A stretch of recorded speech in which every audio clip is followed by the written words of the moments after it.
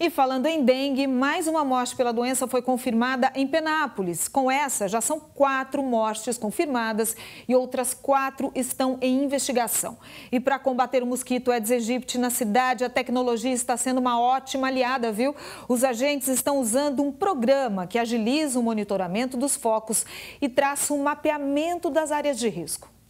A prancheta deu lugar à tecnologia em Penápolis. Agora, os agentes que fazem a coleta de dados sobre a dengue têm uma ajudinha extra na hora de realizar o trabalho.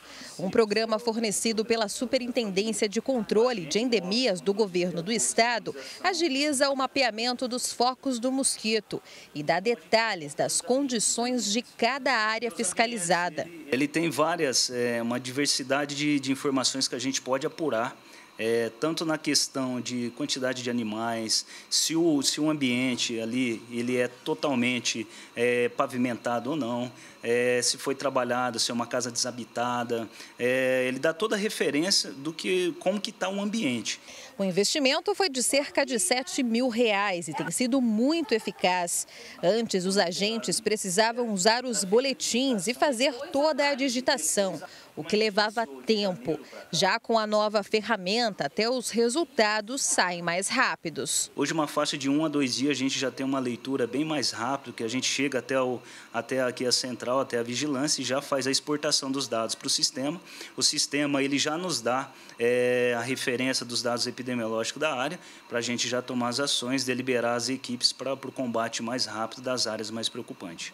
De janeiro deste ano até agora, pouco mais de 340 casos de dengue foram confirmados. O problema é que a doença mata, tanto que quatro pessoas morreram em decorrência da dengue e outras quatro mortes ainda estão sendo investigadas. Aqui na nossa rua mesmo já teve vários é, relatos de pessoas que estavam com dengue, né? E a, e essa, a tecnologia ajuda bastante nessa esse contato entre eles. Tinha papel às vezes atrapalhava nessa evolução.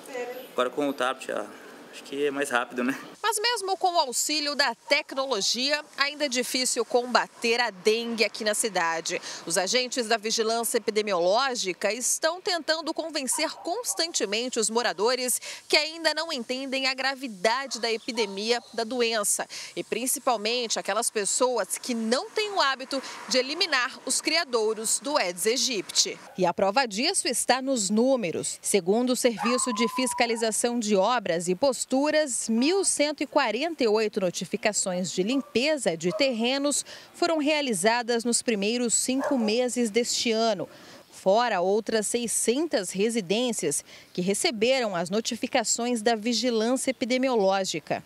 Esses locais abandonados têm preocupado e muito as autoridades e também a população. Eu tenho medo, causa da minha idade, né? Se pegar, aí começa a provocar outras doenças, pneumonia. Então eu me cuido. Mesmo com 96 anos de idade, a dona Aparecida dá uma lição de exemplo em muita gente por aí. Eu cuido bem do meu quintal.